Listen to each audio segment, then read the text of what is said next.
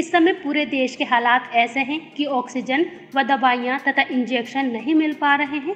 प्लांटों के आगे तीमारदारों की भारी भीड़ लगी हुई है, परंतु वहाँ भी ऑक्सीजन नहीं मिल पा रही है। ऐसे में संभल ज़िले के सदर सपा विधायक एवं उप नेता विरोधी दल विधानसभा लखनऊ इकबाल महमूद मदद के लिए सामने आए हैं। कोरोना के बढ़ते संक्रमण को देखते हुए उन्होंने ऑक्सीजन प्लांट लगाने की हामी भरी है।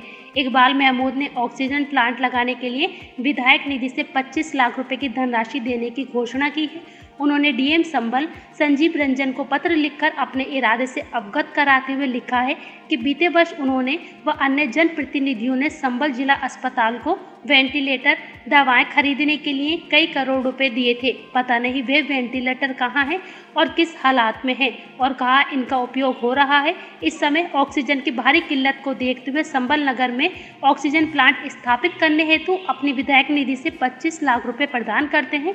साथ ही साथ संबल की जनता को ऑक्सीजन इंजेक्शन, रेमडेसिविर फेविकिल, टेबलेट आदि खरीदकर उपचार कराने के लिए उन्होंने 25 लाख रुपए और अलग से दिए हैं। सपा के संबल सदर विधायक इकबाल महमूद ऐसे पहले राजनेता हैं जिन्होंने अपने विधायक निधि से पूरे 50 लाख रुपए इस आपदा की घड़ी में संबल नगर की जनता को लाभ पहुँचाने के लिए प्रदान किए हैं। देखिए, हम संबल के चुनावी नुमाइंदे हैं और इस वक्त मैं कहता हूँ, वो किसी भी पार्टी का चुनावा नुमाइंदा हो।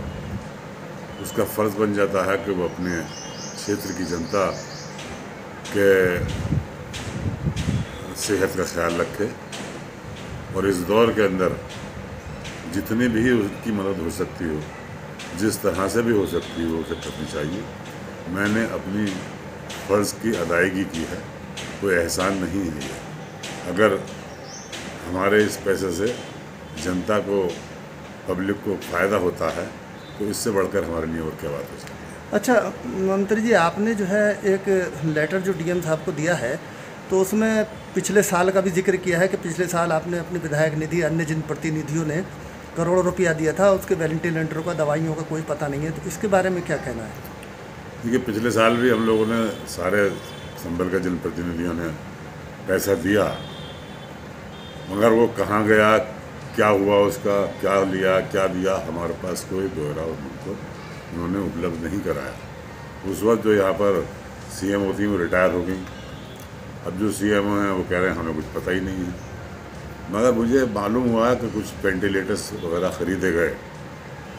अब ख़रीदे गए वो वेंटिलेटर्स आज भी सरकारी अस्पताल में डिस्ट्रिक्ट हॉस्पिटल में कुछ मौजूद हैं, कुछ को इन्होंने अपने और संभल के दो अस्पतालों को दे दिए हैं।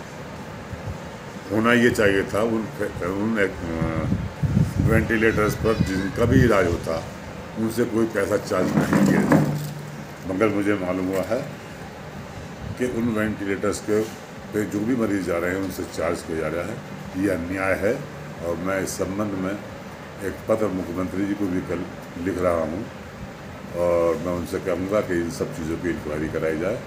और जो भी इसमें दोषी पाया जाए उसके खिलाफ कार्रवाई। अच्छा विधायक जी आपने जो है 25 लाख रुपए दवाओं के लिए और इंजेक्शन वगैरह के लिए दिए हैं। 25 लाख रुपए अलग से ऑक्सीजन प्लांट लगाने के लिए दिए जी।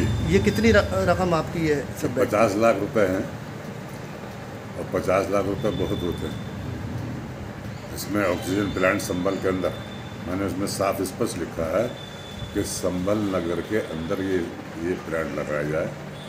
ताकि संबल जनपद के लोग इसकी से सुविधा, इससे इससे अपने ऑक्सीजन मिलने से अपने सेहत को अच्छी तरह से सही रख सकें।